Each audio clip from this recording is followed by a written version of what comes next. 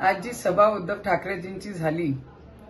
त्याच्यामध्ये आपण पाहिला की बरेचसे अं, जे क्रजेस होते जे हेटेट होता जे राग होता ते पूर्ण स्पष्टपणे त्यांनी सगळं काही बोलून दाखवलं. आणि ते वारंवार सांगताय की बाप चोरलं बाप चोरलं.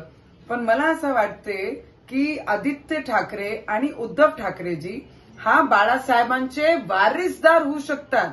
त्यांचे प्रॉपर्टीचे हकदार होऊ शकतात पण जी विचारधारा आहे ती एकनाथ शिंदेजींसोबत आहे. कारण एक पक्षातून चाळीस आमदार जर एक एक बाजूनी जातात तर सगळे लोकांना विचार करण्याजोगता होता.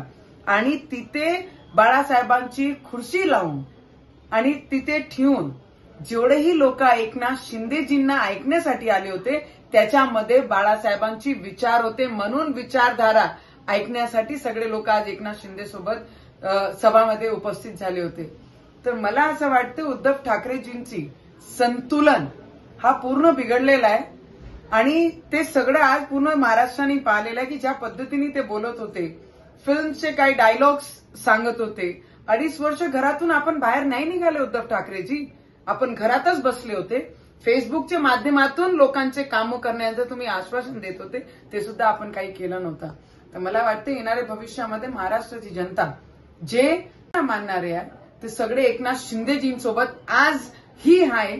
कारण ज्या पद्धतीने महाराष्ट्राची जनता आज सभामध्ये आली होती ऐकण्यासाठी एकनाथ शिंदेजींना तिथून विश्वास निर्माण होते की बाळासाहेबांचे विचार हे खरे अर्थाने एकनाथ शिंदेजींसोबत आहे